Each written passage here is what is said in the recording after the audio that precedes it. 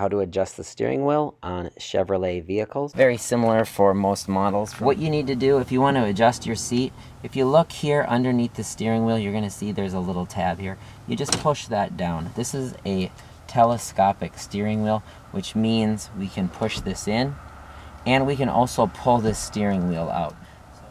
And you want that in and maybe, and you would like that steering wheel pulled a little closer to you. Also, we can take this steering wheel and we can lower it down and we can push it up. So you can move that where you want. Once you have it set where you would like it, then you're just going to push that tab back up and it's going to lock that steering wheel in place. So for me, what I would do, I would position my seat, drop this in, don't want it too close to my legs, okay? I'm going to find that perfect position and I can find that and then I can lock it.